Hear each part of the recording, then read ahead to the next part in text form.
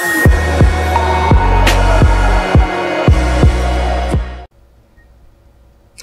everyone, welcome to Otaku Saga. I'm DK. I'm Rizzo. And I'm Zero, and a day in anime reaction. Watch episode six of the Tales of Zestiria. DX. Or is it Besteria? Dun dun dun. Scream.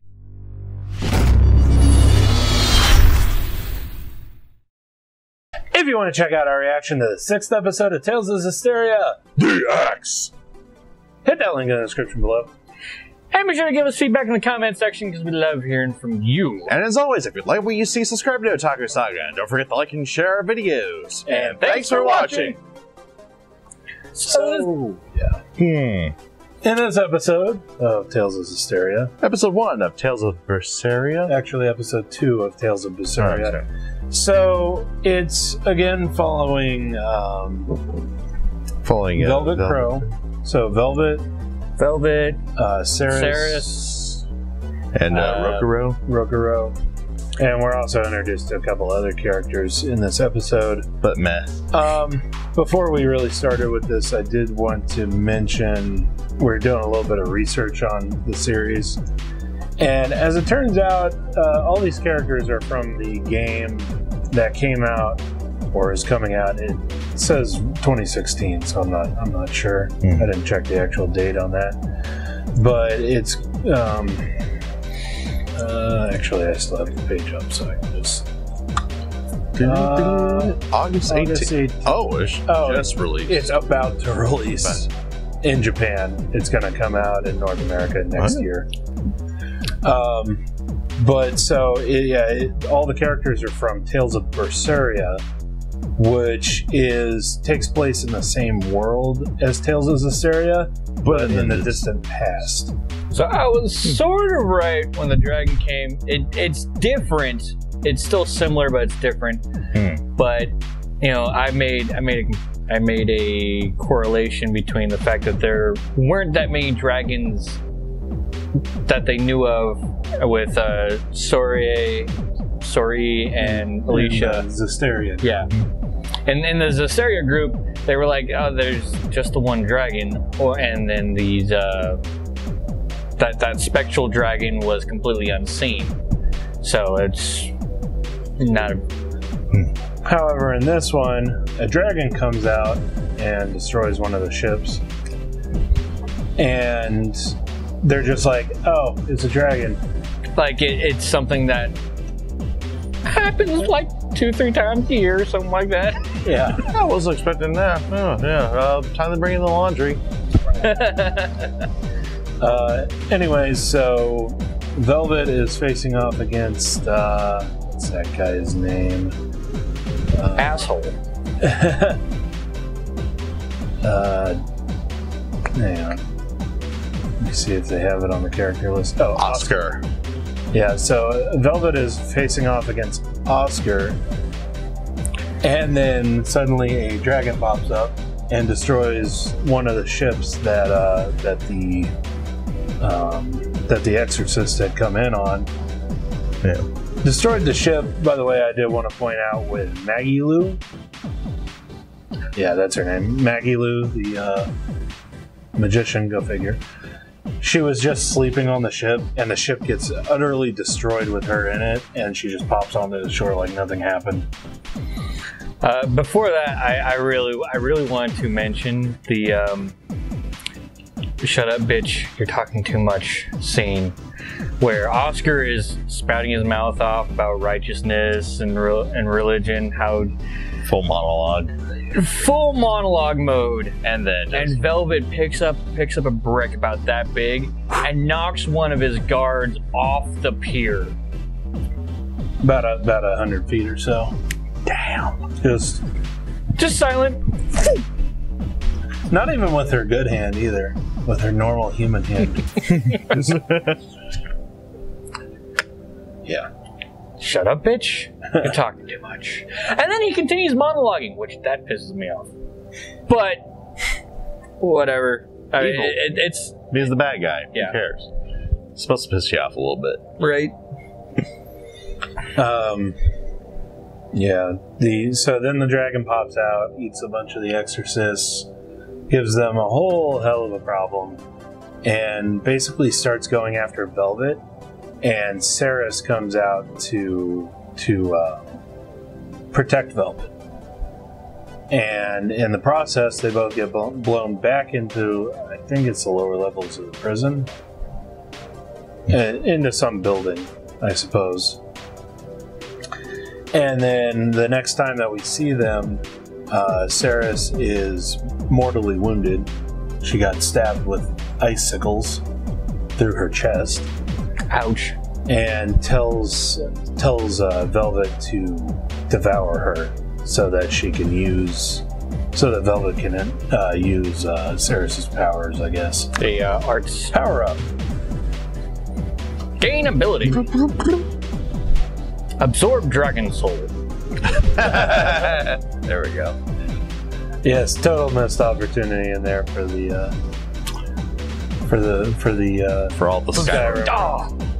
Especially, especially the way that uh, Velvet and Ceres get knocked into the temple. It was totally a Fus Ro Dah. It wasn't. A, it wasn't a fire blast. It was a Fus Ro Dah. More like first row. Damn! But But still, it like, boom. Pretty much. But yeah, then uh, uh, then Velvet comes up, comes back out of the building, and uh, destroys the dragon. Pretty much. I mean, comes out with leading with a fire blast, which was Ceres's powers, and grabs it and choke slams it. Literally grabs its throat and flips it over onto its back Choke slams a dragon. And then proceeds to start devouring it with her hand. What is she, Oscar, Vampire Hunter D? nice Oscar attempts to stop her, but I think he attempted to keep uh, monologuing until he st- until he saw her. Then he was just like, well, Well, he, he did stab her with a bolt of energy, yeah. and she just shrugged it off. yeah, But he did attempt to stop her because obviously devouring Ceres, which he figured out, uh, and devouring a dragon would make Velvet extremely powerful. Now, obviously, the, the, the devouring of those souls. Hmm. That, that's that's quite How powerful they've made her over the years with how many daemons that they've sent for her to devour. probably stupidly strong. And like they, they probably have no idea what she's actually capable of. She Well- probably doesn't know what she's actually capable of because she's been stuck in that cell for I don't know how many years. Hmm. hmm. Anyway, uh, so she. De- oh, no, I'm good. Hmm. Okay. Uh, she devours the dragon. When she devours the dragon, it sets off a giant explosion and blows away uh, Oscar. And so Velvet, uh, Rokuro, uh, Magilou. Was there anybody else? I think that was it. That's it. They, they all escaped on the on the ship. Yep. Also, uh, kind of a split decision on Magilou's character. You don't really like her. You think she's a more or less a Harley Quinn knockoff. Well, it's not necessarily the Harley Quinn knockoff that really upsets me. It's the design of Harley of the Harley Quinn costume. I hate jester costumes. I really do.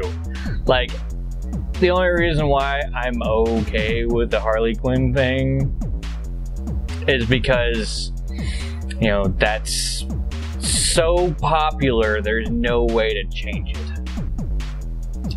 And plus what what, what would you look better? Well, how would you make that look better?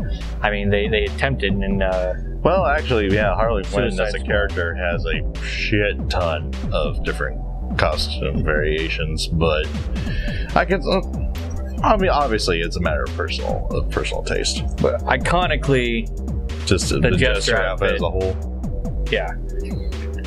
And it just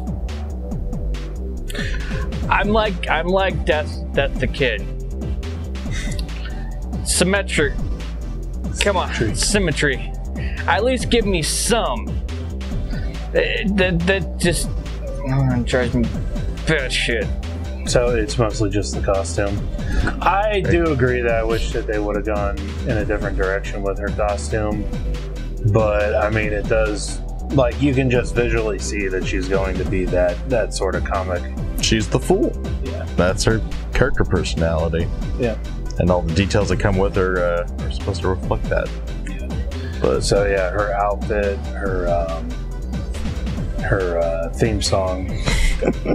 Which was hilarious in the middle of a freaking epic fight. I know she's standing there. Uh, so, yeah, she's just standing there trying to get Velvet's attention, and this dragon just comes skidding down the pier.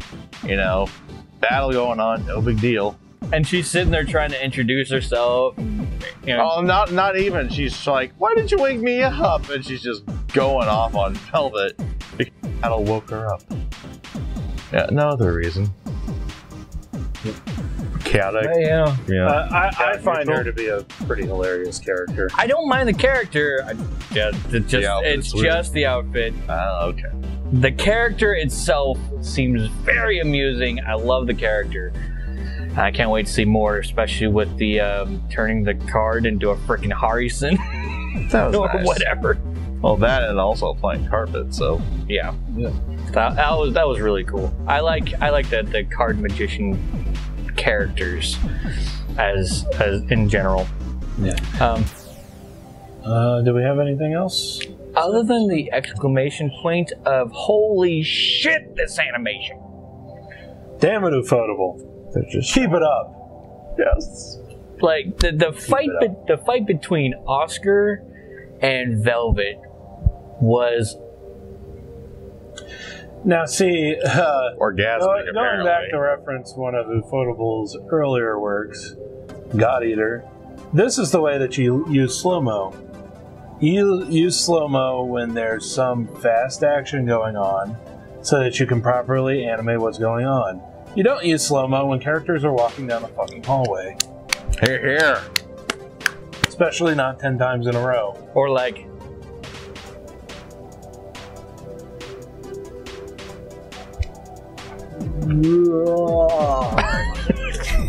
it's like what the hell? There, yeah.